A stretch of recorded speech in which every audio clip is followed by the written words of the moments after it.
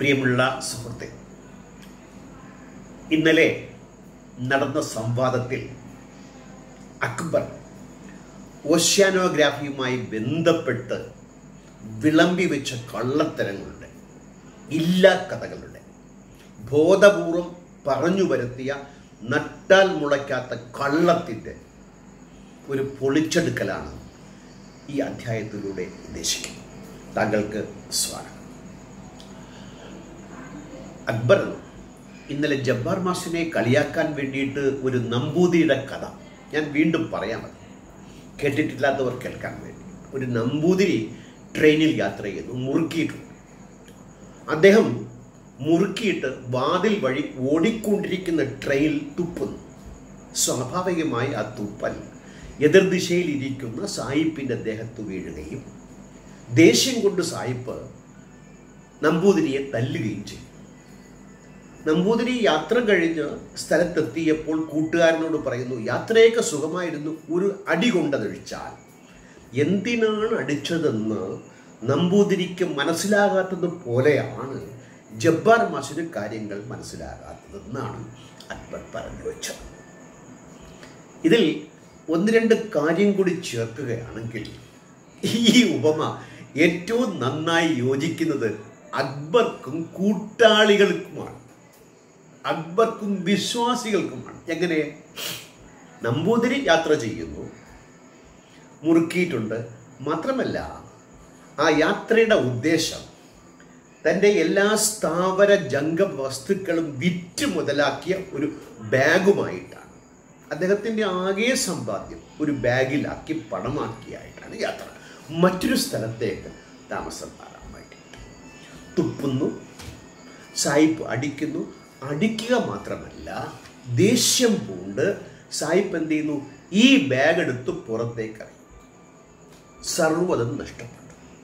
യാത്ര കഴിഞ്ഞിട്ട് നമ്പൂതിരി കൂട്ടുകാരനോട് പറയുന്നത് ബാഗും പോയി അടിയും കൊണ്ടു അങ്ങനെ എല്ലാം നഷ്ടപ്പെട്ട ഒരു നമ്പൂതിരിയുടെ അവസ്ഥയിലാണ് ഇന്നലെ ഓശാനോഗ്രാഫി വിളമ്പിയ അക്ബറിന്റെ സ്ഥാനം.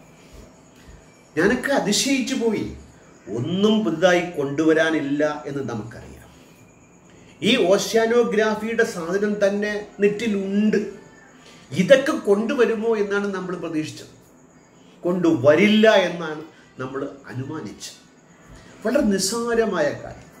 ജബ്ബാർ മാഷ് പറഞ്ഞതുപോലെ രണ്ട് മിനിറ്റ് കൊണ്ട് പൊളിച്ചെടുക്കാവുന്ന പ്രത്യേകിച്ച് കള്ളത്തരങ്ങളും വങ്കത്തരങ്ങളും ചേർത്തില്ലെങ്കിൽ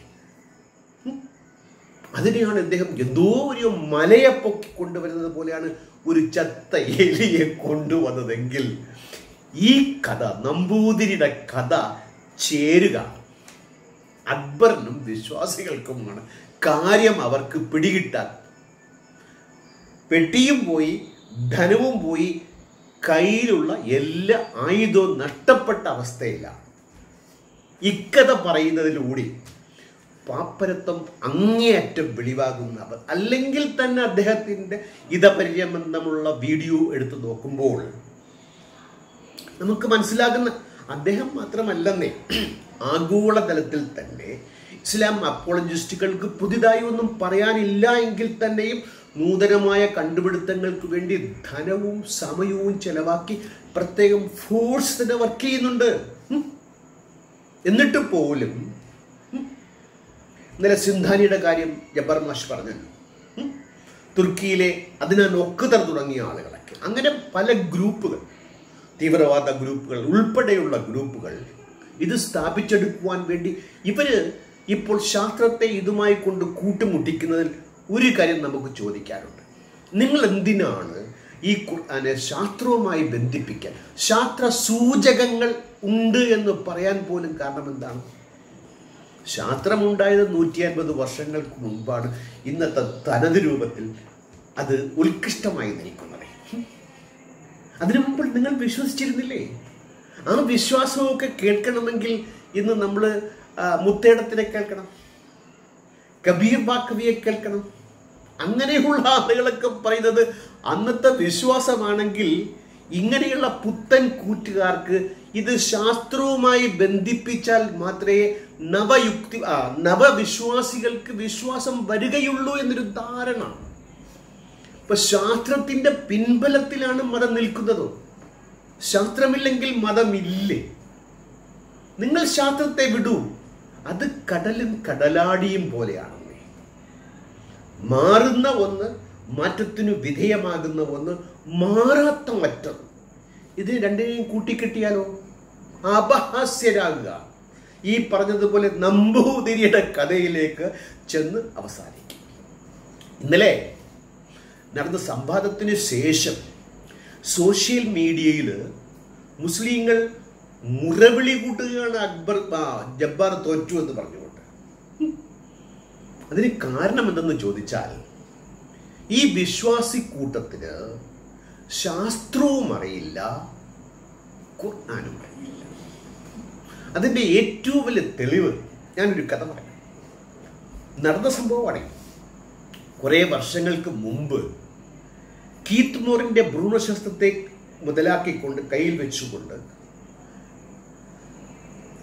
സക്കീർ നായക്ക് വില്യം കാഫലുമായി ഒരു ചർച്ച നടത്തി. അദ്ദേഹം സംഘടിപ്പിച്ചാണ് പി എസ് ടി വി എന്ന എന്റെ ഓർമ്മ. അല്ലെങ്കിൽ അക്ബറിന്റെ കൂട്ടം അല്ല സക്കീർ നായകിന്റെ കൂട്ടം. അതിൽ ഞാനത് കണ്ടു. രണ്ട് മൂന്ന് മണിക്കൂർ നീണ്ടു നിൽക്കുന്ന ഒരു പരിപാടിയാണ് ഡോക്യുമെന്റഡ് ആണ്.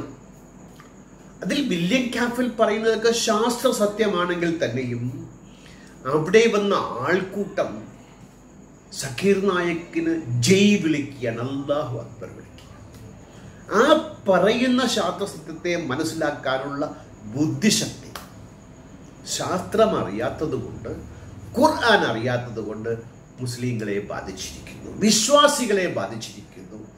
എന്നുള്ളതിന്റെ തെളിവാണ് ആ വീഡിയോ അതിപ്പോഴും കൊണ്ട് എടുത്ത് നോക്കുന്നത് ആ അതുപോലെയാണ് ഇന്നും ഇന്നലെയുമായിട്ട്. പുറത്തു വന്നുകൊണ്ടിരിക്കുന്ന ഏ അപഹാസ്യമായ ഒന്നിനെ ഇങ്ങനെ വീണ്ടും അപഹാസ്യമാക്കാനായിട്ട് നിങ്ങൾ തുരിയുമ്പോൾ നിങ്ങളുടെ ഇൻഡെപ്ത് ഓഫ് സൈൻ നോളജ് വല്ലാത്തൊരു ഗതികേടാണത് കേട്ടോ. ജബ്ബാർ മാഷ് ഉന്നയിച്ച ഈ ഓഷ്യാനോഗ്രാഫിയിലെ ചോദ്യങ്ങളെ മില്യൺ ഡോളർ ക്വസ്റ്റ്യൻസ് ആണ്. വഴിയെ നമുക്കത് പരിശോധിക്കാം. ഓരോന്നുമായി പരിശോധിക്കാം. തലനാരിഴകിരുത്തൽ നമുക്ക് പരിശോധിക്കാം. അതൊന്നും വിശ്വാസികൾക്കും മനസ്സിലാകാത്തത് കൊണ്ടാണ് ഈ രാജ്യത്ത് വർഗീയത ഈ രാജ്യത്ത് ആർ എസ് എസ് ഈ രാജ്യത്ത് എസ് ഡി പി ഐ തുടങ്ങിയ സംഭവ വികാസങ്ങൾ അജയ്യ പേരി മുഴക്കിക്കൊണ്ട് നമുക്ക് ഭീഷണിയായി നിൽക്കുന്നു. ഇന്നലെ അക്ബർ പറഞ്ഞ ഒരു കാര്യമുണ്ടല്ലോ. അത് അക്ബർ മാത്രമല്ല ഞാൻ ഈ പറഞ്ഞ വില്യം ക്യാമ്പൽ ചർച്ചയിൽ സക്കീർ നായക്ക് പത്ത് പതിനഞ്ച് വർഷങ്ങൾക്ക് മുമ്പ് പറഞ്ഞ കാര്യമാണ്. ഖുർആൻ ശാസ്ത്രഗതമല്ല ശാസ്ത്രം പഠിക്കണമെങ്കിൽ ബയോളജി കെമിസ്ട്രി സുവോളജി അതൊക്കെ നിങ്ങൾ പഠിച്ചോളൂ. ഇത് ശാസ്ത്ര ശാസ്ത്ര സൂചകങ്ങളുണ്ട് science S C I N C അല്ല. S C I G N S എന്നിട്ട് പറയുന്നതോ? ഈ ഖുർആാനിലെ ഖുർആനിലെ ഭ്രൂണ ഭ്രൂണശാസ്ത്രം എന്ന അക്ബറിന്റെ പുസ്തകം ഞാൻ മുഴുവനും വായിച്ചതാണ്. അണ്ടർലൈൻ ചെയ്തിട്ടുണ്ട്. അതിൽ ശാസ്ത്രത്തെ വിശദീകരിക്കുകയാണ്. കോപ്പർ ലൂട്ടിയം എന്നുള്ള ഒരു സംഗതിയെ വിശദീകരിക്കാൻ വേണ്ടിയിട്ട് ആ ഗർഭ ഗർഭസ്ഥാവസ്ഥ അവസ്ഥയെ ശരിക്കും അദ്ദേഹം പഠിച്ചുകൊണ്ട് ശാസ്ത്രം പറയുകയാണ്. എന്നിട്ടാണ് പറയുന്നത് ഇതിനകത്ത് ശാസ്ത്രമില്ല ആയിരത്തി നാനൂറ് വർഷം മുമ്പ് അന്നത്തെ നബിക്ക് ഇന്നറിയാവുന്ന ശാസ്ത്രം അറിയാമെന്ന് പറയുന്നവർ ഇമാതിരി വേദികളിലേക്ക് വരുമ്പോൾ തടി സലാമത്താക്കാൻ വേണ്ടിയിട്ട് ഇത് ശാസ്ത്ര ഗ്രന്ഥമല്ലെന്ന് പറയുന്നതാണ് ഇന്നലെ അക്ബറും അവിടെ പറഞ്ഞ പയറ്റിയ പയറ്റി തെളിഞ്ഞ പയറ്റ് തോറ്റ ആ സംവാദത്തിലൂടെ തന്നെ വീണ്ടും വീണ്ടും ഇതൊക്കെ ഓഷ്യാനോഗ്രാഫിയൊക്കെ എത്ര മഹനീയമായാണ് അദ്ദേഹം പറഞ്ഞൊപ്പിച്ചത്. ഞാനൊരു പണ്ഡിതനാണ്. എനിക്ക് ശാസ്ത്രം അറിയാം. ഈ ശാസ്ത്രം ഖുർആാനിലുണ്ട് എന്ന് പ്രഖ്യാപിക്കാൻ വേണ്ടിയിട്ട് സ്ഥാപിക്കാൻ വേണ്ടിയിട്ട്. എന്നിട്ട് പറയുന്നു ഇതിൽ ശാസ്ത്രമല്ല. എത്ര അപഹാസ്യമാണ്. ഒരേ കാര്യം വസ്തുതാ വിരുദ്ധമായി ഒരേ വേദിയിൽ പറയാനുള്ള ഉളുപ്പ് നാണക്കേട്. ഇതിൽ അക്ബർ മറ്റൊരു വടി കൂടെ പൊട്ടിച്ചു. മുസ്ലിങ്ങൾക്കെതിരെ നാസ്തിക. അങ്ങനെ അല്ലെന്നേ മുസ്ലിങ്ങൾക്ക് ഞങ്ങൾ എതിരല്ല അവരുടെ വിശ്വാസത്തെയാണ് ഞങ്ങൾ എതിർക്കുന്നത്. അത് ഞങ്ങൾ എതിർക്കാൻ കാരണം ആ വിശ്വാസം അവനവന്റെ ഹൃദയത്തിൽ ഒതുങ്ങിക്കൊണ്ട് അവനവന്റെ കുടുംബത്തിൽ ഒതുങ്ങിക്കൊണ്ട് നിൽക്കുമെങ്കിൽ ആർക്കും ഒരു ഛേദവുമില്ല. പക്ഷേ അത് ഭീമത്സരൂപം പൂണ്ട് തെരുവിൽ വാളേന്തി തോക്കേന്തി നിൽക്കുമ്പോൾ ബോംബേന്തി നിൽക്കുമ്പോൾ നമുക്ക് പ്രതികരിക്കാനിരിക്കാനാവില്ല. നമുക്കിവിടെ നമ്മുടെ സന്തതി വരെ പരമ്പരകൾക്ക് മനുഷ്യരാശിക്ക് മനുഷ്യ കുലത്തിന് ഇവിടെ സമാധാനപരമായി ജീവിക്കേണ്ടതുണ്ട് എന്നതുകൊണ്ട് ദ ബുക്ക് പീപ്പിൾ ഇത് ആരായാലും ശരി ബൈബിളായാലും ശരി ഗീതയായാലും ശരി ഖുർആാനായാലും ശരി നമ്മൾക്ക് എതിർക്കേണ്ടി വരും. അതാണ് ഒറ്റ കാരണമേ. ഇത് മാനവരാശിയുടെ മുമ്പോട്ടുള്ള പ്രയാണത്തെ അങ്ങേയറ്റം തടസ്സപ്പെടുത്തുന്നത് കൊണ്ടാണ് നമ്മൾ നിൽക്കുന്നത് അല്ലെങ്കിൽ നമുക്കെന്ത്? ഇപ്പോൾ ഒരു അബ്ദുൽ ഖാദർ അയാൾ അള്ളാഹുവിൽ വിശ്വസിക്കുന്നു നിഷ്കരിക്കാൻ പോകുന്നു എനിക്കെന്താ ചെയ്യണം? പക്ഷേ അയാൾ ഈ വിശ്വാസം മറ്റുള്ളവരിൽ അടിച്ചേൽപ്പിക്കുകയോ എന്റെ വിശ്വാസമാണെന്ന് ധരിച്ച് ധരിച്ചുകൊണ്ട് ധര- ധരിച്ച അവശനായുകൊണ്ട് അത് പ്രാവർത്തികമാക്കാൻ വേണ്ടി മറ്റുള്ളവരുടെ മേൽ പിടിമുറുക്കാൻ ശ്രമിക്കുമ്പോഴാണ് പ്രശ്നത്തിന്റെ ഹേതുവെങ്കിൽ ഇവിടെ ഞങ്ങൾ അടിവരമായിട്ട് പറയുന്ന പറയാം. ഞങ്ങൾ ഇസ്ലാമിനെതിരല്ല മുസ്ലിങ്ങൾക്കെതിരല്ല. ഇസ്ലാമിനെതിരാണ്. ഇസ്ലാമിക പ്രമാണത്തിനെതിരാണ്. കള്ളത്തരത്തിന്റെ വങ്കത്തരത്തിന്റെ ഇല്ലാക്കഥയുടെ കബളിപ്പിക്കലിന്റെ ആകത്തുകയായ ഖുർആാനെതിരാണ്. ഞങ്ങൾക്ക് പറയാതിരിക്കാനാവില്ല പറയും ഞങ്ങൾ. പറഞ്ഞുകൊണ്ടേയിരിക്കും. അതുകൊണ്ട് ഇത്തരം ഉമ്മാക്കികളൊന്നും ഇറക്കരുത് ചെലവാകില്ല. കാരണം ഈ ചിന്തയുള്ളവർക്ക് മനസ്സിലാക്കാൻ സാധിക്കുവേ. പാവങ്ങളെ നിങ്ങൾക്ക് വഴിതെറ്റിക്കാനാകുമായിരിക്കും. അതും അധികകാലം നടപ്പിലാവില്ല. കാലം മാറുന്നു. മാറ്റത്തിന് വിധേയമാണ്. അതുപോലെ ഈ ശാസ്ത്രവുമായി ഏറ്റ് ഏച്ചു വയ്ക്കുമ്പോൾ ഇന്നലെ അവിടെ പറഞ്ഞ കാര്യമാണ് പറയപ്പെട്ട ഈ എപ്പോഴും മാറിക്കൊണ്ടിരിക്കുന്നതാണ് ശാസ്ത്രം. ഞാനിന്ന് നിങ്ങളുമായി സംവദിക്കാൻ വേണ്ടി ഈ ഉപയോഗിക്കുന്ന എന്റെ ഈ ഗാലക്സി ടെൻ ഗാലക്സി സെവൻ ഉണ്ടായിരുന്നു നയൻ ഉണ്ടായിരുന്നു. ഇതിനു മുമ്പ് ഓപ്പോ ഫോൺ ഉണ്ടായിരുന്നു. ഇത്രയും ക്ലാരിറ്റി ഇല്ലായിരുന്നു. ആദ്യമായിട്ട് ഒരു എൺപത്തി ഏഴ് എൺപത്തി ആറിലെന്നാണ് എന്റെ ഓർമ്മ. ആദ്യം ഞാൻ വാങ്ങിച്ച മൊബൈൽ ഫോണിന് പതിമൂവായിരം രൂപ വില. ഇൻകമിങ് കോളിന് പതിമൂന്ന് രൂപ പെർ മിനിറ്റ് ചാർജ് ആയിരുന്നേ. എത്രത്തോളം? എല്ലാം. അനുനിമിഷം വികാസത്തിലേക്കും മാറ്റത്തിലേക്കും പരിണാമത്തിലേക്കും പോകുന്നത് ശാസ്ത്രമെങ്കിൽ ഇത് മാറില്ല എന്ന് ഷടിക്കുന്ന ഒന്നിനെ ചേർത്ത് വയ്ക്കുന്നത് കടലും കടലാടിയും ചേർത്ത് വയ്ക്കുന്നത് പോലെ മൗഢ്യമാണ്. പരിഹാസ്യമാണ്. അതാണ് ഇന്നലെ അക്ബർ അവിടെ അരങ്ങേറ്റിയത്. അതുകൊണ്ടാണ് നമ്മളിത് തുറന്നു കാണിക്കാൻ ശ്രമിക്കുന്നത്. ഇനി കാര്യത്തിലേക്ക് വരാം.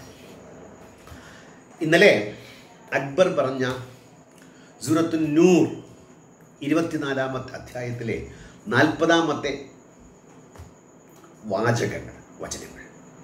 അതിന്ന് പല ഒരു പല ഭാഷകളിലും ഞാൻ വായിച്ചു നോക്കി. ഇംഗ്ലീഷിൽ പല തർജമകളും ഞാൻ എടുത്തു ഓക്കെ മലയാളത്തിലും തമിഴിലും നോക്കി. അതിലൊക്കെ അക്ബറിന്റെ കള്ളക്കളി വളരെ വ്യക്തമായി മനസ്സിലാകുന്നുണ്ട്. ഇവരുടെ വിദ്യ എന്തെന്ന് ചോദിച്ചാൽ വാക്കർത്ഥം മാറ്റും. ഇല്ലാത്ത വാക്കുകളെ ചേർത്ത് വയ്ക്കും. ഗ്രന്ഥകർത്താവ് അല്ലെങ്കിൽ ഖുർആൻ ഉദ്ദേശിക്കാത്ത അർത്ഥം വാക്കുകൾക്ക് നൽകും. തിരികെ കയറ്റും. ഇതൊക്കെ മെത്തഡോളജിയാണ് ഇതിലൂടെയാണ് ശാസ്ത്രത്തെ ഈ ഇത് ഈ പേസ്റ്റ് വെച്ചാണ് ശാസ്ത്രത്തെ ഒട്ടിക്കാൻ ശ്രമിക്കുന്നത്. അതാണ് ഇന്നലെ അക്ബർ ഉപയോഗിച്ച തന്ത്രം വഴിയെ പറയാം. ഈ ഇരുപത്തിനാല് ഈസ്റ്റ് നാൽപ്പത് ഖുർആൻ ഒരു ഉപമയായി പറയുന്ന കാര്യമാണ്. എന്താണ് ഉപമ? മന്നവേന്ദ്ര വിളങ്ങുന്നു ചന്ദ്രനെ പോലെ നിന്മുഖം. ഇത് കവി പറയുമ്പോൾ അനുവാചകന് മുഖത്തെക്കുറിച്ചറിയാം ചന്ദ്രനെ കുറിച്ചറിയാം എങ്കിൽ മാത്രമേ മന്നവേന്ദ്ര വിളങ്ങുന്നു. ചന്ദ്രനെ പോലെ നിന്മുഖം എന്ന് പറയാൻ പറ്റുള്ളൂ. ചന്ദ്രനെ അറിയുന്നവനോട് മാത്രമേ. ചന്ദ്രനെ മനസ്സിലാക്കിയ അനുവാചകനോട് മാത്രമേ ഇത് പറയാൻ സാധിക്കുമെങ്കിൽ ഖുർആൻ പറഞ്ഞ ഇരുപത്തിനാല് നാൽപ്പത് അതിൽ പറയുന്ന കാര്യങ്ങൾ ഉപമയായി പറയുന്ന ഓഷ്യാനോഗ്രാഫിയിലെ കാര്യങ്ങൾ അറബികൾക്കറിയാമെന്ന് ഖുർആൻ ഉദ്ദേശിക്കുന്നു. ഈ വലിയ ഒരു സത്യം അക്ബർ മറന്നു പോകുന്നു അറിയാൻ അറിഞ്ഞില്ല എന്ന് നടിക്കുന്നു. ഉപമയാണ് വഴിയത് പരിശോധിക്കാം. ഞാൻ പറയാം. നാൽപ്പത് ഞാൻ വായിക്കും. നമ്മൾ കുറേ തപസീറുകളെ കുറേ അർത്ഥങ്ങളെ ഇവിടെ ഇതിലേക്ക് വേണ്ടി നോക്കുകയാണ്. ഒന്ന് ക്ഷമിക്കും. നാൽപ്പത് അല്ലെങ്കിൽ ആഴക്കടലിലെ ഈ തട്ടുകൾ പോലെയാകുന്നു. വിത്തിൻ ബ്രാക്കറ്റ് അവരുടെ പ്രവർത്തനങ്ങളുടെ ഉപമ. പ്രവർത്തനങ്ങളെ താഴെ പറയുന്നതുമായി ഉപമിക്കണമെങ്കിൽ താഴെ പറയുന്നത് പറയപ്പെടുന്ന ആൾക്ക് മനസ്സിലാകണമെന്ന് ഖുർആാനോ അള്ളാഹുവിനോ നബിക്കോ അറിയില്ല എന്നാണ് അക്ബർ മനസ്സിലാക്കി വെച്ചിരിക്കുന്നത്. അങ്ങനെ അല്ല അക്ബറെ. ഇനി മറ്റൊന്ന് നോക്കാം. അല്ലെങ്കിൽ ആഴക്കടലിലെ ഇരുട്ടുകൾ പോലെയാകുന്നു. വിത്തിൻ ബ്രാക്കറ്റിൽ അവരുടെ പ്രവർത്തനങ്ങളുടെ ഉപമ. ഏത് അർത്ഥം എടുത്തു നോക്കിയാലും ഏത് തഫ്സീർ എടുത്തു നോക്കിയാലും ഇനിയും നോക്കാം. അല്ലെങ്കിൽ വിത്തിൻ ബ്രാക്കറ്റ് അവരുടെ കർമ്മങ്ങൾ ആഴമേറിയ ആ സമുദ്രത്തിലെ അന്ധകാരങ്ങളെ പോലെയാകുന്നു. പോലെയാകുന്നു. ഉപമിക്കുകയാണ്. ഇനിയും നോക്കാം. ഇംഗ്ലീഷിൽ or within bracket their deeds are like layers of darkness in a vast deep overwhelmed by a wave in a sea. അവിടെ ലൈക്ക് ലേയേഴ്സ് അന്ധകാരം പോലെ അവിടെയും പോലെ ഉപമ. ഇനിയും നോക്കാം. Or they are within bracket as darkness in a ടിബിൾട്ടസ് sea vast and deep ഇവിടെയും as എന്ന് വന്നല്ലോ പോലെ. ഉപമയാണ്. ഓർ വീണ്ടും the state of disbelievers is ദൈ ലൈക്ക് ദ ഡാർക്ക്നസ്. എങ്ങനെ? Or within bracket the state of disbeliever അവിശ്വാസികളുടെ is like the darkness. താഴെ പറയുന്നത് പോലെയാണ്. മന്നവേന്ദ്ര വിളങ്ങുന്നു ചന്ദ്രനെ പോലെ നിന്നു ഓഷ്യാനോഗ്രാഫിയിലെ അതാ ഓഷ്യാനോഗ്രാഫി എന്ന് ഓഷ്യാനോഗ്രാഫി എന്നും ഖുർആൻ അറിയില്ലെന്ന്. ഖുർആൻ കടലിനെ കുറിച്ച് പറഞ്ഞ മറ്റു ഭാഗങ്ങളെ എടുത്ത് പരിശോധിക്കണം. ഖുർആൻ കടലിനെ കുറിച്ച് എന്തറിയാം? അത് വഴിയെ നാളെ പറയാം.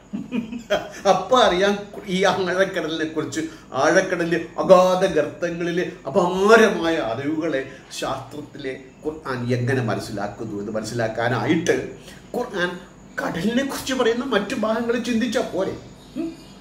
അതിൽ കൂടി വേണമല്ലോ ഈ അറിവ്. അതുകൊണ്ട് അതുപോട്ടെ. അപ്പോ ഇവിടെയും the state of a disbeliever within bracket is like the darkness ബൊബയാണ്. Or as darkness on a vast abysmal sea ഇവിടെയും ഓർ ആസ് ഡാർക്ക്നെസ് ഇരുട്ട് പോലെ കടലിലെ ഇരുട്ട് പോലെ ഇവരുടെ അന്ധകാരം നിറഞ്ഞ വിശ്വാസം എന്നാണ് ഖുർആൻ പറയുന്നതെങ്കിൽ ഇത് ബോധപൂർവം മറച്ചു വെച്ചുകൊണ്ടാണ്. അല്ലെങ്കിൽ അറിയാതെ ഈ വിദ്യയുമായി ഈ ആശാൻ വരുമ്പോൾ നമ്പൂതിരിയുടെ എല്ലാം നഷ്ടപ്പെട്ട വേഗം അടികൊണ്ട കഥയും അക്ബറിനും കൂട്ടാളികൾക്കും ചേരുമെന്ന് പറയുന്നത് വെറുതെ അല്ല എന്റെ പൊന്നു സുഹൃത്തുക്കളെ. അക്ബർ പറയുന്നത് ഖുർആാനിലെ നാല് ഭൗതിക അറിവുകൾ. ഈ ഒരൊറ്റ ആയത്തിൽ ഖുർആൻ നാല് ഭൗതിക അറിവുകൾ നിങ്ങൾക്ക് വിളമ്പിത്തരുന്നു. ഇല്ലാത്ത അർത്ഥം കൽപ്പിക്കുകയാണ്? ഒന്നിനെ മഹത്വവൽക്കരിക്കാൻ വേണ്ടിയിട്ട് അതുപോലും ഉദ്ദേശിക്കാത്ത കലാനുസൃതമല്ലാത്ത അർത്ഥങ്ങളെ കൊണ്ട് തിരികെ കയറ്റി. മേനി നടുക്കുകയാണെങ്കിൽ പണ്ട് ഡോങ്കിക്സ് ഒന്ന് കഥാപാത്രം ആൻഡ് ഓപ്പൻസ് വെഞ്ചിൻ ഓഫ് അഡ്വഞ്ചർ ഞാൻ എട്ടാം ക്ലാസ്സിൽ ഏഴാം ക്ലാസ്സിൽ കാണാപ്പാടം പഠിച്ചിട്ടുണ്ട് ഈ ഡോങ്കിക്സോട് വിചാരിക്കുന്ന അയാൾ ഒരു നൈറ്റ് എന്നാണ് അയാളൊരു ധീര ധീര യോദ്ധാവെന്നാണ് അദ്ദേഹത്തിന്റെ വിചാരം ഇത് തെളിയിക്കാനായിട്ട് അദ്ദേഹം എന്ത് ചെയ്തു? രാജാവിന്റെ മുമ്പിൽ പോയി. രാജാവ് എന്ത് ചെയ്തു? ഒരു സിംഹത്തിന്റെ മുമ്പിൽ ഇയാൾ അയച്ചു. തെളിയിക്ക സിംഹത്തിന്റെ മുമ്പിൽ പോയപ്പം സിംഹ സിംഹത്തിന്റെ മനോ നിലയാണ് അവിടെ പിന്നീട് കഥയിൽ നോക്കിയപ്പോൾ ഒരു കിഷകാത്രൻ ഒരു ചവയ്ക്ക് പോലും ഇല്ല. ഒരു വാക്ക് പോലും തികയില്ല പാവം പോട്ടെ എന്ന് വിചാരിച്ചു. രാജാവ് നോക്കി. സിംഹം ഡോങ്കിക്സോട്ടിനെ ഒന്നും ചെയ്യുന്നില്ല. ഡോങ്കിക്സോട്ടിനും സിംഹത്തിനും തമ്മിലുള്ള ഒരു ആശയവിനിയമം അവിടെ നടന്നിട്ടില്ല എന്നും സിംഹം ഇയാളെ കണക്കിലെടുത്തിട്ടില്ല എന്നറിയാതെ ഇയാൾ നൈറ്റായിട്ട് പ്രഖ്യാപിക്കപ്പെടുക. ധീരയോദ്ധാവായി പ്രഖ്യാപിക്കപ്പെടുന്നത് പോലെയാണ്. ഇല്ലാത്തതിനെ ആരോപിച്ചുകൊണ്ട്. ഇത് ശാസ്ത്രമെന്ന സിംഹത്തിന് മുമ്പിൽ വരുമ്പോൾ ഖുർആാനെ ഡോങ്കിക്സൂട്ട് പോലെ കണക്കാനാക്കാൻ. ശാസ്ത്രവും ശാസ്ത്രം അറിയാവുന്നവരും തീർച്ചയായിട്ടും തീരുമാനിക്കുമെന്നുള്ളതാണ് അതിന്റെ വസ്തു പകക്കടിക്കേണ്ട കാര്യമില്ല. മതഗ്രന്ഥങ്ങൾ ശാസ്ത്രത്തെ സംബന്ധിച്ചിടത്തോളം ഒരു തർക്ക വിഷയമല്ല അത് വിശ്വാസത്തിന്റെ മദ്യലഹരിയിൽ വിശ്വാസമെന്ന മദ്യലഹരിയിൽ. ഈറ്റ് വരുന്ന ഊറി വരുന്ന ലഹരിയാണ്. അത് പലതരത്തിൽ അമൃതാന്തമയുടെ രൂപത്തിൽ സായിബാബയുടെ രൂപത്തിൽ തേങ്ങയുടെ രൂപത്തിൽ ഗണപതിയുടെ രൂപത്തിൽ പിന്നെ പോട്ട ധ്യാനകേന്ദ്രത്തിന്റെ രൂപത്തിൽ മുടി രൂപത്തിൽ എന്തിന് കന്തപുരത്തിന്റെ മുടി രൂപത്തിൽ വരെ അത് വരുമെങ്കിൽ ശാസ്ത്രം ഇതിനെ വകയ്ക്കെടുക്കുന്നില്ലെന്നേ. Let Don Quixote go away എന്നാണ് ശാസ്ത്രവും ശാസ്ത്രവാദികളും അതിനെ കരുതുന്നെങ്കിൽ അതിന്റെ നാല് ഭൗതിക അറിവിൽ ഒന്നാമത്തെ അറിവായിട്ട് അക്ബർ പറയുന്നത് ആഴക്കടലിൽ ഇരിട്ടുണ്ട്. മനുഷ്യൻ മൂന്ന് ലക്ഷം വർഷങ്ങൾക്ക് മുമ്പ് ഹോമോ സാപ്പിയൻസ് ഉണ്ടായത് കാലത്തിന് പിന്നീട് ഇങ്ങോട്ട്. അവന്റെ ബുദ്ധി വികാസം മാംസാഹാരം വേവിച്ചു കഴിച്ചതിന് ശേഷം ഉണ്ടായ ബുദ്ധി വികാസത്തെ തുടർന്ന് അവൻ കടലിലേക്ക് ചാടിയെന്നേ പല കാരണങ്ങൾ കൊണ്ട്. ഭൂഖണ്ഡങ്ങൾ താടിയ നമ്മളാണ്. പല കാരണങ്ങളും പല രീതികളും. അതൊന്നും ഞാനിവിടെ വിശദീകരിക്കുന്നില്ല. കടൽ എന്തെന്നും കടലിന്റെ അടിത്തട്ട് എന്തെന്നും ഏകദേശമൊക്കെ മുങ്ങാനുള്ള സാങ്കേതിക വിദ്യ ഇല്ലാത്ത ആളുകൾക്ക് വരെ അന്ന് അറിവുണ്ടായിരുന്നു. തെളിവെന്താണ് അതിനു മുമ്പ് ഒരു കാര്യം പറഞ്ഞോട്ടെ. അഞ്ച് മീറ്ററിന് താഴെ പൊക്കഴിഞ്ഞാൽ മനുഷ്യന്റെ കാഴ്ച നഷ്ടപ്പെടും. മുങ്ങുന്ന ആൾക്ക് അത് മനസ്സിലാകും. അഞ്ച് metre only five metres depth ഇന്നലെ ആരിഫ് ഹുസൈൻ പറഞ്ഞപ്പോൾ അയാളുടെ അയാളെ അനക്ഡോക്ടലായിട്ട് മര്യാദ കെട്ട രീതിയിൽ അക്ബർ കളിയാക്കുകയായിരുന്നു. ഒരു ചോദ്യം ചെയ്യുന്ന ചോദ്യകർത്താവിന്റെ ചോദ്യത്തിന്റെ മുമ്പിൽ ചൂളിപ്പോകുമ്പോൾ അവിടെ എടുക്കുന്ന മാന്ത്രിക വിദ്യയാണ് മാജിക്കൽ സർക്കാസ്. അതാണ് ഇന്നലെ ആരിഫിനെ അദ്ദേഹം കളിയാക്കിയത്. അത് ശരിയല്ല എന്നുള്ള ബോധ്യം. ഇത് പോട്ടെ ഇന്നലെ നമ്മുടെ ബാലുശ്ശേരി ഒരു വീഡിയോ ചെയ്തിട്ടുണ്ട്. അക്ബർ ബാലുശ്ശേരി ജബ്ബാർ മാഷിനെ കുറിച്ച് ചത്തു പോട്ടെ എന്ന്. അത്രത്തോളം ദേഷ്യമാണ് മനസ്സിന്റെ ഉള്ളിൽ. നമ്മൾ നിങ്ങളെ എതിർക്കുന്നില്ല. ഞങ്ങൾ നിങ്ങളുടെ ഗ്രന്ഥത്തെ എതിർക്കുന്നതിലൂടെ ഞങ്ങൾ നിങ്ങൾക്ക് പാര എന്ന് നിങ്ങൾ മനസ്സിലാക്കാൻ കാരണം നിങ്ങളുടെ വയറ്റുപിഴപ്പ് അതായത് കൊണ്ടാണ് ബാലുശ്ശേരി. ഞങ്ങളെ കുറ്റം പറഞ്ഞിട്ട് കാര്യമില്ല. ഞങ്ങളുടെ വയറ്റുപിഴപ്പല്ല ഇതും അതും. അതുകൊണ്ട് ബാലുശ്ശേരിയുടെ ഇന്നലത്തെ വർത്തമാനം കേട്ട് കഴിഞ്ഞാൽ അതായത് ജനാധിപത്യ ബോധം പ്രതിപക്ഷ ബഹുമാനം സംസ്കാരം തൊട്ടു തീണ്ടിയിട്ടില്ലാത്ത ഒരു മനുഷ്യനെന്ന് ആ ഒരു വീഡിയോ വെച്ച് നമുക്ക് പൂർണമായി മനസ്സിലാക്കാൻ സാധിക്കും. നമ്മളിപ്പം ഞാനിപ്പം നമ്പൂതിരിയുടെ കടപ്പെടുന്നു. അക്ബർ നമ്മളെ നമ്മളെക്കുറിച്ച് ഉപമിച്ചപ്പോൾ നമ്മൾ തിരിച്ചു. ഇതിനൊക്കെ ഒരു മാന്യതയുണ്ടെന്നേ അക്ബർ അത്തരത്തിൽ തരം താഴുമെന്ന് എനിക്ക് വിശ്വാസമില്ല. പക്ഷേ ബാലുശ്ശേരി അങ്ങനെ പലരും ഉണ്ട്. പോട്ടെ. അപ്പൊ അഞ്ച് മീറ്റർ താഴെ പോയി കഴിഞ്ഞാൽ അഞ്ച് മീറ്ററൊക്കെ മനുഷ്യൻ താഴെ പോകും. നമ്മൾ ഈ മുത്തുവാരി എടുക്കുന്നുണ്ട്. Pearl. Pearl diving pearl hunting. ഇതൊക്കെ ഇരുപത് മീറ്റർ വഴി ആഴത്തിൽ പോയിട്ട് അപ്പം എങ്ങനെ കണ്ണു കാണും? തപ്പിയെടുക്കുകയാണ് ഇരുട്ടിൽ തപ്പിയെടുക്കുകയാണ് പേളിനും പേൾ ഹണ്ടിങ്. നിങ്ങൾ ഗൂഗിൾ ചെയ്തു minimum twenty to thirty metres below അങ്ങോട്ട് താഴെ താഴെ പോകാം. കഴിവുണ്ടോ എന്നുള്ളത് വേറെ ഒരു കാര്യം. അങ്ങനെയാണെങ്കിൽ അതിനെന്താ കാരണം? നമുക്ക് ഈ കാഴ്ച നഷ്ടപ്പെടാൻ പറഞ്ഞുതരാം. The human eye however, is not well adopted to underwater vision. വെള്ളത്തിനടിയിലുള്ള കാഴ്ചകൾ കാണാൻ പാകത്തിലല്ല മനുഷ്യന്റെ കണ്ണുകൾ. In humans the cornea accounts for two third of eye's refractive പ്രവൻ power when expose to air നമ്മുടെ മൂന്നിൽ രണ്ട് കാഴ്ച എയറിൽ നിൽക്കുമ്പോൾ ഉപകാരപ്പെടും its refractive power is lost അത് നഷ്ടപ്പെടും. When the air is replaced by water അത് വെള്ളത്താൽ കാറ്റ് മാറ്റപ്പെടും. അതായത് വെള്ളത്തിനടിയിലാവുമ്പോൾ ഈ മൂന്നിൽ രണ്ട് നമുക്ക് ഉപയോഗിക്കാനുള്ള കഴിവ് നഷ്ടപ്പെടുന്നു. As the refractive index of the cornea and the aqueous humour behind the cornea are similar to that of water and therefore the image will be blurred. ഇതാണ് അതിന്റെ ശാസ്ത്രം. അതുകൊണ്ടാണ് നമുക്ക് അന്ധകാരം മാത്രമല്ല നമ്മുടെ ഒരു കൺ- കണ്ണിന്റെ പോരായ്മ കൂടെയാണ്. എന്തായാലും അഞ്ച് മീറ്റർ താഴെ പോകുമ്പോൾ മനുഷ്യന് കാണാൻ പറ്റില്ലെന്നേ. ഇനി ഇന്നലെ അക്ബർ ആരിഫ് ഹുസൈന്റെ ചോദ്യത്തിൽ ഒരു കള്ളത്തരം പറഞ്ഞു. ഇരുപത് മീറ്റർ എന്നുള്ളത് ഇരുന്നൂറ് മീറ്റർ ആക്കി മാറ്റി. എന്ന് വഴിയത് പരിശോധിക്കാം.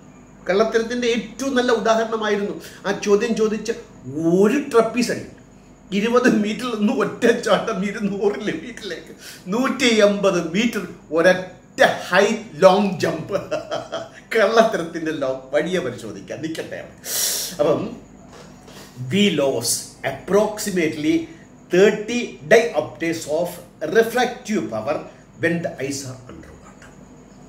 ചുരുക്കി പറയാൻ ഞാൻ നേരത്തെ പറഞ്ഞ കാര്യം ഇത് അതിന്റെ സൈറ്റിന്റെ ലിങ്ക് വേണമെങ്കിൽ ഈ വീഡിയോയുടെ താഴെ ഞാൻ കൊടുക്കാം വിശദമായി മനസ്സിലാക്കുന്നവർക്ക് അങ്ങോട്ട് പോകാം when the use of diving mask the air or cornea interface on the anterior surface of the is restored. Diving masks വെച്ച് കഴിഞ്ഞാൽ വീണ്ടും മൂന്നിൽ രണ്ട് ശക്തി കോർണിയയുടേത് ഉപയോഗിക്കാൻ സാധിക്കും.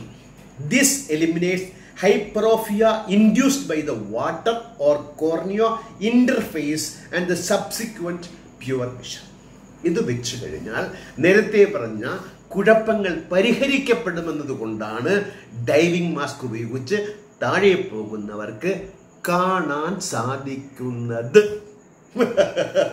The underwater perception of colours also changes വർണവ്യത്യാസവും ഉണ്ടാകുന്നുണ്ട് ഡിപ്പെൻഡിങ് ഓൺ ദ ഡെപ്ത് അത് ആഴവുമായി ബന്ധപ്പെട്ട് due to different wavelengths of visible light the are selectively absorbed as visible light propagates the water വർണരാജികളുടെ വ്യതിയാന വ്യത്യാസങ്ങളിലൂടെ നമ്മുടെ കാഴ്ചശക്തിയുടെ വർണ വ്യത്യാസ തിരിച്ചറിവ് നഷ്ടപ്പെടുന്നു എന്നാണ് ആ സൈറ്റിൽ പറയുന്നത് at at depths these colours appear grey or black. Greater ഡെപ്തിലേക്ക് ആഴത്തിൽ ചെല്ലുമ്പോൾ ഈ കളർ വ്യത്യാസം ഗ്രേ അല്ലെങ്കിൽ ഡാർക്ക് ആയിട്ട് കാണുന്നു because of the wavelength of responsible for these colours are absorbed by the water ഈ വേവ് ലെങ്തുകളെ വെള്ളം ആകിരണം ചെയ്യുന്നത് കളറിന്റെ വർണ വ്യത്യാസങ്ങളെ വെള്ളം ആകിരണം ചെയ്യുന്നത് കൊണ്ട് നമുക്ക് അത് ഗ്രേ ഓർ ബ്ലാക്ക് ആയി തീരുന്നുവെങ്കിൽ അഞ്ച് മീറ്റർ താഴെ ചെല്ലുമ്പോൾ ഇന്നലെ അക്ബർ പറഞ്ഞ കാര്യവുമായി ചേർത്ത് നിങ്ങൾ വായിച്ചു നോക്കൂ. പൊരുത്തപ്പെടില്ല അക്ബറെ. ഇന്നലെ അവിടെ വിശദീകരിക്കാനുള്ള സമയമില്ലാതെ പോയി. എങ്കിലും വളരെ കുറിക്കുകൊള്ളുന്ന ചോദ്യങ്ങൾ ആ ജബ്ബാർ മാഷ് ചോദിച്ചിട്ടും നിങ്ങൾക്ക് മനസ്സിലായില്ല. ഇനി അക്ബർ പറയുന്നു വന്നൊരു കള്ളത്തരമാണ്. ഇരുപത്തിനാല് നാൽപ്പത്. സൂറത്തുന്നൂറിലെ നാൽപ്പത് നാൽപ്പതാമത്തെ ആയത്ത് വെച്ചുകൊണ്ട് കളിക്കുന്ന ഒരു ട്രപ്പീസുകൾ വല്ലാത്ത ഒരു കള്ളത്തൻ അതാണ് ഈ അധ്യായത്തിന് ഞാൻ പേരിട്ടത്. ഇങ്ങനെ കള്ളം നിങ്ങൾ വിളമ്പല്ലേ? എന്താണത്? ഇരുട്ടിനെ പൊതിയുന്ന തിരമാലകൾ ആഴക്കടലിലുണ്ട്. ഞാൻ വെല്ലുവിളിക്കുകയാണ്. ഇത് ഇരുപത്തിനാലിൽ നിങ്ങൾ കാണിച്ചു തരിക ബോധ്യപ്പെടുത്തുക. എങ്ങനെ? ഇരുട്ടിനെ പൊതിയുന്ന തിരമാലകൾ ആഴക്കടലിലുണ്ട്. നമുക്ക് ഇരുപത്തിനാല് നാൽപ്പത് മലയാളത്തിലും ഇംഗ്ലീഷിലും നോക്കാം. തമിഴ് എനിക്കറിയാം. പറഞ്ഞാൽ നിങ്ങൾക്ക് മനസ്സിലാകാത്തതുകൊണ്ട് പറയുന്നില്ല. അല്ലെങ്കിൽ ആഴക്കടലിലെ ഇരുട്ടുകൾ പോലെയാകുന്നു. ബ്രാക്കറ്റിൽ അവരുടെ പ്രവർത്തനങ്ങളുടെ ഉപമ. തിരമാല അതിനെ എതിരെ കടലിനെ പൊതിയുന്നു. തിരമാല എവിടെയാണ്? കടലിന് മീതെ പൊതിയുന്നു. എക്സിനെ വൈ പൊതിയുന്നു എന്ന് പറഞ്ഞാൽ എക്സും വൈയും രണ്ട് വ്യത്യസ്ത ബോഡികളാണ്. എങ്കിലല്ലേ പൊതിയാൻ പറ്റുള്ളൂ. ഇവിടെ തിരമാല പൊതി അതിനകത്തുള്ളതാണ് ഉപരിതലത്തിലാണിത്. ഇവിടെ വിവക്ഷ ഉപരിതലത്തിലുള്ള തിരമാലയെക്കുറിച്ചാണ്. അതാണ് വീണ്ടും വായിക്കാൻ ഞാൻ അല്ലെങ്കിൽ ആഴക്കടലിലെ ഇരുട്ടുകൾ ആഴക്കടലിലെ ഇരുട്ട് പറയുന്നുണ്ട്. ആ ഈ ആഴക്കെന്ന് വെച്ചാൽ എത്ര ആഴക്കണം? എത്ര ആഴം? അതൊക്കെ വേറെ. പിന്നെ വീണ്ടും വഴിയെ ചർച്ച ചെയ്യാം. പോട്ടെ. അപ്പോൾ ബ്രാക്കറ്റിൽ അവരുടെ പ്രവർത്തനങ്ങളെ പോലെ. തിരമാല അതിനെ ബ്രാക്കറ്റിൽ കടലിനെ പൊതിയുന്നു. ഇത് നിച്ചോപ്റ്റത്തിന്റെ സൈറ്റിലുള്ള അർത്ഥമാണെങ്കിൽ കടലിനെ പൊതിയുന്ന പൊതിയുന്ന എന്ന് പറയുമ്പോൾ മുകളിൽ അല്ലെ? അകത്ത് പൊതിയൂ. അതിനു മീതെ വീണ്ടും തിരമാല അതിനു മീതെ കാർമേഘം സംഭവ്യമായ കാര്യങ്ങൾ. ജബർ മാഷനിൽ ചോദിച്ചല്ലോ ആഴക്കടലിൽ ഏത് കാർമേഘം? അങ്ങനെയല്ല. കടലിനെ പൊതിയുന്നു. അതിനെ കടലിനെ പൊതിയുന്നു. അതിനു മേലെ വീണ്ടും തിരമാല. തിരമാലകൾക്ക് മുകളിൽ നമ്മളിപ്പോൾ കടൽ തീരത്ത് ചെന്ന് കാൽ പതിച്ചു വെച്ചിരിക്കുകയാണെങ്കിൽ പാദങ്ങളിൽ ആദ്യം ചെറിയ തിരമാലകൾ നൈസ്. പിന്നെ മുകളിൽ വലുത് പിന്നീട് പിന്നീട് മുട്ടിലും താഴെയൊക്കെ വരുമ്പോഴത്തേക്കും വ്യത്യസ്ത തിരമാലകൾ നമ്മുടെ പാദഭേദ ഭാഗങ്ങളെ തൊടുന്നത് പോലെ നമുക്ക് തോന്നും. വ്യത്യസ്ത തിരമാലകൾ ഉണ്ട്. അത് ശീശോറുമായി ബന്ധപ്പെട്ടാണ്. ആഴക്കടലിലെ തിരമാലകൾ നമുക്ക് വഴിയെ പരിശോധിക്കാം വരട്ടെ. ഇന്നുകൊണ്ട് തീർക്കുന്നില്ല ഈ ഓശാനോഗ്രാഫി രണ്ടു മൂന്ന് ദിവസമായി ചെയ്യേണ്ട അത്രയും വിപുലമായി തന്നെ നിങ്ങളുടെ മുമ്പിൽ പറയാൻ വേണ്ടി മെനക്കെട്ട് പഠിച്ചു. പഠിച്ചുകൊണ്ടിരിക്കുന്നു. ഈ പഠനത്തിന് എനിക്ക് ഇക്കാര്യം കാര്യം ബോധ്യപ്പെടുത്താൻ വേണ്ടി കാരണക്കാരനായ അക്ബറിനോട് അങ്ങേയറ്റം ഹൃദയത്തിന്റെ ഭാഷയിൽ ഞാൻ നന്ദി രേഖപ്പെടുത്തിക്കൊള്ളട്ടെ. അങ്ങനെ ഒന്നിനു മീതെ ഒന്നായി അനേകം മിനിറ്റ് എങ്ങനെ?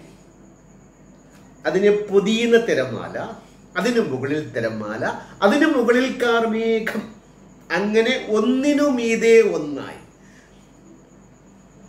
മറ്റനേകം മിനിറ്റ് അവന്റെ കൈ പുറത്തേക്ക് നീട്ടിയാൽ അതുപോലും അവന് കാണാറാകില്ല. ഈ പുറത്തേക്ക് നീട്ടിയാൽ നമുക്ക് വിസ്തരിച്ച് മനസ്സിലാക്കാനുണ്ട്. നാളെ മറ്റന്നാളെ നോക്കാം. അള്ളാഹു ആർക്കും പ്രകാശം നൽകിയിട്ടില്ലയോ അവർ യാതൊന്നും പ്രകാശമായി കാണുകയില്ല.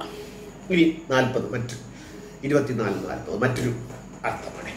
ഈ ഓരോന്നും പറയാൻ കാരണം ഇതിലൊന്നും വ്യത്യാസമില്ല എങ്കിൽ തന്നെയും അക്ബർ പറയുന്ന ആഴക്കടലിലെ ആ വാക്കുണ്ടല്ലോ. എങ്ങനെ? ഇരുട്ടിനെ പൊതിയുന്ന തിരമാലകൾ ആഴക്കടലിലുണ്ട്. ആഴക്കടലിലെ തിരമാലകളെ കുറിച്ചല്ല ഖുർആൻ ഇവിടെ പറയുന്നത്. കടലിൽ വീണ ആളിന്റെ മുകളിൽ തിരമാലയുണ്ടെന്നും അത് കടലിനെ പൊതിയുന്നതാണെന്നും അതിന് മുകളിൽ തിരമാലയുണ്ടെന്നും അതിനു മുകളിൽ കാർമേഘമുണ്ട് എന്ന് പറയുമ്പോൾ ആൾ കടലിൽ എവിടെയാണ്? അഗാധ ഗർത്തത്തിലാണോ? അഗാധ ഗർത്തത്തിലാണെങ്കിൽ അയാൾ ചത്തുപോകുമെന്നേ. ഇരുപത് മുപ്പത് മീറ്റർ താഴെ കഴിഞ്ഞാൽ ഞാൻ ഇന്നലെ സൂചിപ്പിച്ചതുപോലെ നമ്മുടെ മസ്തിഷ്കത്തിലേക്കുള്ള ഓക്സിജന്റെ അളവ് കുറഞ്ഞ് രണ്ട് കാര്യങ്ങൾ സംഭവിക്കും. ഒന്ന് ബോധക്ഷയം ഉണ്ടാകാം അല്ലെങ്കിൽ ഹാലൂസിനേഷൻ പലർക്കും ഹാലൂസിനേഷൻ ഹാലൂസിനേഷൻ ഉണ്ടായിട്ടാണ് കടലിൽ മത്സ്യകന്യകയെയും അവളുടെ കൊട്ടാരത്തെയും കണ്ടു എന്ന് കണ്ടുകൊണ്ട് തന്നെ ഹാലൂസിനേഷനിലൂടെ എങ്ങനെ? നബി ജിബ്രീൽ അലൈഹി സ്വലാത്തു സ്വലാമിനെ കണ്ടതുപോലെ ഹലൂസിനേഷൻ ഇല്ലാത്തതിനെ കാണുക. മായാഭ്രമം ഡെല്യൂഷൻ അത് സൈക്കിക് പ്രോബ്ലമാണ് അത് സൈക്യാട്രിക് പ്രോബ്ലമാണ് സൈക്യാട്രിക് ബന്ധപ്പെട്ട വിഷയമാണ്. ഞാനതിൽ കൂടുതലേക്ക് പറയുന്നില്ല. അത് എൻ എം മുഹമ്മദ് അലി വേണ്ടുവോളം പറഞ്ഞു വെച്ചിട്ടുണ്ട്. അപ്പോൾ അത്തരത്തിലുള്ള ഹലൂസിനേഷൻ ഉണ്ടാകാൻ ഈ സമുദ്രാന്തർ ഭാഗത്ത് പോകുമ്പോൾ മനുഷ്യ മസ്തിഷ്കത്തിന് ഓക്സിജന്റെ അളവ് കൊണ്ട് അളവ് കുറവ് കൊണ്ട് സംഭവിക്കുമെങ്കിൽ അങ്ങനെ അല്ലെങ്കിൽ ആഴക്കടലിലെ ഈ ഇരുട്ടുകൾ പോലെയാകുന്നു. അവരുടെ പ്രവർത്തനങ്ങളുടെ ഉപ തിരമാല കടലിനെ വീണ്ടും അവിടെ കടലിനെ ഇൻ ബ്രാക്കറ്റ് ആണ് പൊതിയുന്നു. അതിനെ വീണ്ടും അങ്ങനെ വീണ്ടും വീണ്ടും ആവർത്തിക്കുകയാണെന്ന് ഇത് വീണ്ടും മറ്റൊന്ന് അല്ലെങ്കിൽ മറ്റൊരു തപസികളാണ് അല്ലെങ്കിൽ വിത്തിൻ ബ്രാക്കറ്റ് അവരുടെ കർമ്മങ്ങൾ വിശ്വാസികളുടെ കർമ്മങ്ങൾ ആഴമേറിയ ഒരു സമുദ്രത്തിലെ അന്ധകാരങ്ങളെ പോലെയാകുന്നു. അതിനെ വിത്തിൻ ബ്രാക്കറ്റ് ആ സമുദ്രത്തെ തിരമാല മൂടിക്കൊണ്ടിരിക്കുന്നു. ആ സമുദ്രത്തെ മൂടിക്കൊണ്ടിരിക്കുന്നു എന്നാണ് ആഴക്കടലിലെ അന്ധകാരത്തെ അല്ലാന്നേ അക്ബറെ. ആളുകളെ പറ്റിക്കല്ലേ കള്ളം പറയല്ലേ? ഇത് മുകളിലാണ്. താഴെ കൊണ്ടുവരല്ലേ? താഴോട്ട് പോവല്ലേ? താഴ്ത്തി കെട്ടല്ലേ? തിരമാല മൂടി. അതിനു മീതെയും തിരമാലയുണ്ട്. അതിനു മീതെ കാർമേഘവും. ബാക്കി ഞാൻ പിന്നീട് സാങ്കത്യമില്ല അതുകൊണ്ട് വായിക്കുന്നില്ല. അങ്ങനെ നോക്കും ഇംഗ്ലീഷിൽ നോക്കാം. ഓർ ദർ ഇത് മുഫ്തി തക്കി ഉസ്മാനി അദ്ദേഹത്തിന്റെ വ്യാഖ്യാനമാണ്. വ്യാഖ്യാനമല്ല അർത്ഥം നൽകലാണ്. In or within brackets there deeds are like layers of darkness in a vast deep overwhelmed by a sea. എങ്ങനെ? ഓവർവെൽമഡ് പൊതിയുന്നു മൂടുന്നു ആകിരണം ചെയ്യുന്നു ആവരണം ചെയ്യുന്നു എന്ന് ഈ ഓവർവെൽമഡ് ഗൂഗിൾ ചെയ്ത്. നോക്കൂ ഇതിനെയാണ് അടിത്തട്ടിലെ അന്ധകാരമാക്കി. എന്നെ പറയാനാണ്. ഉളുപ്പ് ലവലേശം വേണ്ട മനുഷ്യനായാൽ ഒരു അപ്പോളജിസ്റ്റ് ആയാൽ. Above which there is another wave എങ്ങനെ? കടലിനെ പൊതിയുന്ന ഓവർവെൽമഡ് ആയിട്ടുള്ള വേവിന്റെ മുകളിൽ മറ്റൊരു wave above which there are clouds അതിന് മുകളിൽ. അങ്ങനെ ശരിയാവൂ. അട മാടത്തിലുള്ള കടലിലാണ് ഈ പൊതിയലെങ്കിൽ അവിടെ എങ്ങനെ കാർമേഘം വരുമെന്നേ? പ്രസക്തമായ ഈ ചോദ്യം ജബ്ബാർ മാഷ് ചോദിച്ചിട്ട് മനസ്സിലായില്ല ഈ നമ്പൂതിരിക്ക്. ഇനി പിക്തോളിന്റെ നോക്കാം. Or as darkness on a vast abysmal sea they cover him a wave above which is a wave above which is a above which ഏതിന്റെ മുകളിൽ? ഏതിന്റെ മുകളിൽ? ദ സീ അസിമൽ സീ അതിന്റെ മുകളിൽ. പിക്താൾ വളരെ പിക്താൾ എന്നല്ല ഒട്ടുമിക്ക തഫ്സീറുകാരും അർത്ഥം നൽകിയവരും നൽകുന്നത് കടലിൽ കിടക്കുന്നയാൾ. അതിന്റെ മുകളിൽ കടലിനെ പൊതിയുന്ന തിരമാല. അതിന് മുകളിൽ തിരമാല. അതിന് മുകളിൽ ക്ലൗഡ്സ് കാർമേഘം. ഈ കാർമേഘത്തെയാണ് പിടിച്ചു കെട്ടി അടിത്തട്ടിൽ കൊണ്ടുപോയി അന്ധകാരത്തിൽ കൊണ്ടുപോയി ഇല്ലാത്ത ഇരുട്ടിനെ പൊതിയാനായിട്ട് അക്ബർ പ്രകാശനം നടത്തിക്കൊണ്ടിരിക്കുന്നത്. ഇനി മുഷിദ് ഖാൻ അദ്ദേഹത്തിന്റെ നോക്കാം. Or the state of a dis disbeliever within bracket ആണ്. ഈ the state of disbeliever within bracket is like the darkness in a vast deep sea overwhelmed with a great wave topped by a great wave എങ്ങനെ? Overwhelmed മുകളിൽ.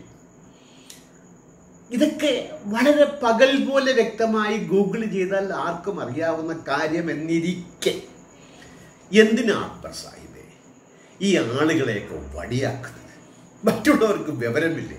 മറ്റുള്ളവരൊക്കെ ഇത് അന്വേഷിച്ച് പോകില്ലേ ഇരുപത്തിനാല് നാൽപ്പത് നിങ്ങൾക്ക് മാത്രം മനസ്സിലാകത്തക്ക രീതിയിൽ വായിക്കത്തക്ക രീതിയിൽ അല്ല എന്ന് മീഡിയ വളർന്നു പന്തലിച്ച് വിശാലമായ രീതിയിൽ അതെല്ലാവർക്കും ആക്സസിബിൾ ആയിട്ട് നിൽക്കുന്നതെങ്കിൽ എന്റെ പൊന്നു അക്ബരെ നിങ്ങൾക്ക് അധിക കാലം ഇതൊന്നും വിറ്റുകൊണ്ട് നടക്കാൻ പറ്റില്ല. ഇറാനിൽ അൻപത് ശതമാനം പോയില്ലേ?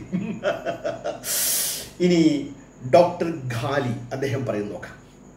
Or within bracket there are as darkness ബ്രാക്കറ്റിൽ is darknesses in a tumultuous sea vast and deep enveloped by the waves മൂടപ്പെട്ട waves കടൽ അതിനെ മൂടപ്പെട്ട അതിന് മുകളിൽ ഓവർവെൽഡ് എൻവലപ്ഡ് എല്ലാവരും ഒരുപോലെ അർത്ഥം പറയുമ്പോൾ. ഇനി അക്- അക്ബറിന്റെ ഒരു മില്യൺ ഡോളർ ചോദ്യമാണ് ഈ പറഞ്ഞത്. അതായത് ഈ ഇരുപത്തിനാല് നാൽപ്പത്. അത് പൂർണമായി വായിക്കണമെങ്കിൽ ഞാൻ ഒന്നും മലയാളത്തിൽ വായിച്ചു നിർത്താം. എങ്കിൽ മാത്രമേ ഞാൻ ഇനി പറയാൻ പോകുന്ന കാര്യം നിങ്ങൾക്ക് പിടികിട്ടൂ. അല്ലെങ്കിൽ അവരുടെ കർമ്മങ്ങൾ ആഴമേറിയ ഒരു സമുദ്രത്തിലെ അന്ധകാരങ്ങളെ പോലെയാകുന്നു അതിനെ വിത്തിൻ ബ്രാക്കറ്റ് ആ സമുദ്രത്തിനെ തിരമാല മൂടിക്കൊണ്ടിരിക്കുന്നു. അതിനു മീതെയും തിരമാലയുണ്ട്. അതിനു മീതെ കാർമേഘവും. അങ്ങനെ വിത്തിൻ ബ്രാക്കറ്റ് ഒന്നിനു മീതെ ഒന്നായുള്ള വിത്തിൻ ബ്രാക്കറ്റ് വിവിധ അന്ധകാരങ്ങൾ. ഒന്നിനു മീതെ ഒന്നായിട്ടുള്ളതാണ്? തന്റെ കൈകൾ പുറത്ത് കാട്ടിയാൽ അവനത് കാണുമാറാകില്ല. പുറത്തു നീട്ടിയാൽ അത് നമുക്ക് വഴിയെ ചർച്ച ചെയ്യാം. എങ്ങനെയാണ് പുറത്തു നീട്ടുക? കൈ പുറത്ത് നീട്ടുക. എന്ന് വെച്ചാൽ പുറത്ത് നീട്ടുക എന്ന് വെച്ചാൽ? നീട്ടുക എന്നുള്ള നീട്ടുക എന്ന് പറയാൻ പോരെ. പുറത്ത് നീട്ടുക എന്ന് വെച്ചാൽ കടലിന് പുറത്ത് നീട്ടുക. എന്നാലും ജബ്ബർ മാഷ് വഴിയെ പരിശോധിക്കാതെ നിൽക്കട്ടെ. അത്രയും വമ്പിച്ച ഇരുട്ട് അള്ളാഹു ആർക്ക് പ്രകാശനം ഏർപ്പെടുത്തി കൊടുത്തിട്ടില്ലയോ? അവന് യാതൊരു പ്രകാശവും ഇല്ല തന്നെ. അള്ളാഹുവിന്റെ ജോലി പ്രകാശം വിളമ്പിക്കൊണ്ടിരിക്കുകയാണ് എന്നതാണ്. ഇത് അറബികൾക്കറിയാം നേരത്തെ പറഞ്ഞ ഉപമയുടെ കാര്യം. മന്നവേന്ദ്ര വിളങ്ങുന്നു ചന്ദ്രനെ പോലെ നിൻമുഖമെന്ന് പറയുമ്പോൾ അനുവാചകനു ചന്ദ്രനെ അറിയാവുന്നത് പോലെ കടലിലെ ഇരുട്ടിനെ അറബികൾക്കറിയാമെന്ന് ഖുർആൻ മനസ്സിലാക്കുന്നു. അള്ളാഹു ബോധിക്കുന്നു അള്ളാഹു പറയുന്നു അക്ബർ മാറ്റി പറയുന്നു അക്ബറെ അള്ളാഹുവിന്റെ സത്യബോധത്തെ സത്യദീനിനെ സത്യവചനങ്ങളെ ഇങ്ങനെ ദയവ് ചെയ്ത് ഉളച്ചൊടിച്ച് മുസ്ലിങ്ങളെയും ഖുർആാനിനെയും അപമ അപമാനിക്കരുത്. ഇതിന് എവിഡൻസ് വേണമെന്നാണ് ചോദിക്കുന്നത്. എവിടെയാണ് എവിഡൻസ് ഉള്ളത്? ഉണ്ട്. എവിഡൻസ് ഉണ്ട്. എവിടെയാണ് ഉള്ളത്? U A E unite Arab Emirates അവരുടെ ടൂറിസം സൈറ്റിൽ പോയി കഴിഞ്ഞാൽ ഞാൻ ഈ താഴെ വായിക്കുന്ന ഭാഗങ്ങളുണ്ട് എങ്കിൽ രേഖപ്പെടുത്തപ്പെട്ടിരിക്കുകയാണ്. ആരാൽ?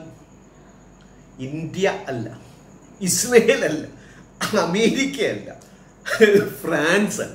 U A E. പോയെ. The balmy waters of the Gulf produce highly prized colourful pearls with incredible luster and luminosity, and local merchants traded them with their counterparts from after. In often in barter for the uh, other goods like wood. Barter സമ്പ്രദായം നിലനിന്ന കാലഘട്ടത്തിൽ നാണയം രൂപീകരിക്കപ്പെടുന്നു currency നാണയം barter സമ്പ്രദായം എന്ന് പറഞ്ഞാൽ വസ്തുത വസ്തുക്കൾ പരം വസ്തു ഞാൻ കുറേ അരി കൊടുക്കും അയാൾ കുറേ എനിക്ക് തുണി തരും ബാട്ടർ സമ്പ്രദായം ആ കാലഘട്ടത്തിൽ മുങ്ങിത്തപ്പിയെടുക്കുന്ന ഇരുപത് മുപ്പത് മീറ്ററോ അതിന് താഴെയോ പോയി മുങ്ങിത്തപ്പിയെടുക്കുന്ന കാഴ്ച കാണാതെ തപ്പിയെടുക്കുന്ന pearls pearl hunting pearl gathering Google ചെയ്തു ഇത് പറഞ്ഞതിൽ ലിങ്ക് വേണേൽ ഞാൻ താഴെ കൊടുക്കാം. ഞാൻ കള്ളം പറയുകയല്ല. ഞങ്ങൾക്ക് കള്ളം പറയേണ്ടതിന് ആവശ്യമില്ല. ജീവിതോപാധി അല്ല. ഇതിനെ പിടിച്ചു നിർത്തി യുക്തിവാദത്തെയും നിരീശ്വരവാദത്തെയും പിടിച്ചു നിർത്തേണ്ട ആവശ്യം എനിക്കില്ലെന്നേ. എന്തിനാ? എന്തിനാന്ന് ചോദിച്ചാൽ അപ്പുറത്തുള്ള കള്ളവും അതുണ്ടാക്കുന്ന ഭവിഷ്യത്ത്. അതുകൊണ്ട് മാത്രമാണ് ഇതൊക്കെ പറയുന്നത്. ക്ഷമിക്കും. അപ്പം while some accumulate great wealth through this വളരെ പണം സമ്പാദിച്ചു. For many others it was the only means of പലർക്കും ഇതൊരു ജീവിതോപാധി ആയിരുന്നു കടലുമായി ബന്ധപ്പെട്ട് മുത്തുച്ചിപ്പികൾ തപ്പിയെടുത്ത് പേൾ ഹണ്ടിങ് നടത്തിയത് ജീവിത ഉപാധി ആയിരുന്നു മനുഷ്യർക്കെങ്കിൽ. അറബികൾക്ക് അറിഞ്ഞുകൂടെ ഉപമ പോലെ. ഉപമ പറയണമെങ്കിൽ ഇതൊക്കെ അറിയാമെന്ന് നബിക്കറിയാം. Although there are no records ഒരു തെളിവുമില്ല റെക്കോർഡുകളില്ല when this valuable resources was first harvested ഇത് ആദ്യമായി എപ്പോൾ എടുത്തു എന്നതിന് തെളിവില്ല. മനസ്സിലായില്ലോ? എന്തിനാ തെളിവില്ലാത്തത്? ഇത് എപ്പോൾ അതിൽ താഴത്തെ വാചകം വളരെ പ്രസക്തമാണെന്ന് വായിക്കാം. Pearls have been found in talk in local excavations ലോക്കലായിട്ടുള്ള പര്യവേഷണങ്ങളിൽ പേൾസ് ഹാവ് ബീൻ ഫൗണ്ട് മുത്തുകൾ കിട്ടിയിട്ടുണ്ട് അറ്റ് ആർക്കിയോളജിക്കൽ സൈറ്റ്സ് മനസ്സിലായല്ലോ? ആർക്കിയോളജിക്കൽ സ്ഥലങ്ങളിൽ dating back seven thousand years back ഏഴായിരം വർഷങ്ങൾക്ക് മുമ്പ് ഉള്ള മുത്തുകൾ ആർക്കിയോളജിക്കൽ സൈറ്റിൽ നിന്ന് നമുക്ക് കിട്ടിയിട്ടുണ്ടെങ്കിൽ ഏഴായിരം വർഷ മുമ്പത്തെ അറബികൾ യു എ ഇയിലെ അറബികൾ. മുങ്ങി തപ്പി ഈ കടലിൽ പോയി ഇരുട്ടിൽ തപ്പി മുത്തുകൾ എടുത്ത് കൊണ്ടുപോയതിന്റെ ആർക്കിയോളജിക്കൽ എവിഡൻസ് എങ്ങനെ pearls have been found in local excavations at archaeological size എന്റെ ഇംഗ്ലീഷ് അല്പം ഒന്ന് ഒരു വീണ്ടും വായിക്കാം കേട്ടോ. Pearls have been. ഇത് ആവേശം കൊണ്ടാണ് ഈ തെറ്റിപ്പോകുന്നത്. അത്രയും പ്രാധാന്യമുള്ള വാക്കാണ് ഞാൻ വായിക്കുന്നത്. ഇന്നലെ അക്ബർ ചോദിച്ചില്ലേ എവിടെ തെളിവ്? You go to the site of U A tourism department this well known well preserved lines are there mister Akbar ചെല്ലു. സംശയം ലിങ്ക് ഞാൻ താഴെ കൊടുക്കാം. സംശയമുള്ളവർക്ക് ചെന്ന് വായിക്കും. Pearls have been found in local excavations at archaeological sites dating back seven thousand years ഏഴായിരം വർഷങ്ങൾക്ക് മുമ്പുള്ള മുത്തുകൾ വരെ. ഏഴായിരം വർഷങ്ങൾക്ക് മുമ്പ് മനുഷ്യൻ അഗാധ കടലിലെ ഇരുട്ടുണ്ട് എന്നറിഞ്ഞിരുന്നു. ജബാർ മാഷ് പറഞ്ഞല്ലോ കുളത്തിലോ ആഴമുള്ള വെള്ളത്തിലോ മുങ്ങുന്നവർക്കറിയാം നമ്മുടെ വിഷൻ കാരണം അവിടെ ഇരുട്ടാണെന്ന്. അതാണ് ഖുർആൻ ഉപമയായി പറഞ്ഞതെങ്കിൽ എന്റെ പൊന്നു അക്ബറെ ഉളുപ്പ് വേണ്ടേ നാണം വേണ്ടേ മാന്യത വേണ്ടേ സംസ്കാരം വേണ്ടേ വേണം ഉണ്ടാക്കണം. മറ്റൊരു അധ്യായവുമായി ഇതേ വിഷയത്തിൽ മറ്റൊരു അധ്യായവുമായി വീണ്ടും കാണുന്നതുവരെ നന്ദി നമസ്കാരം ഗുഡ് ബൈ.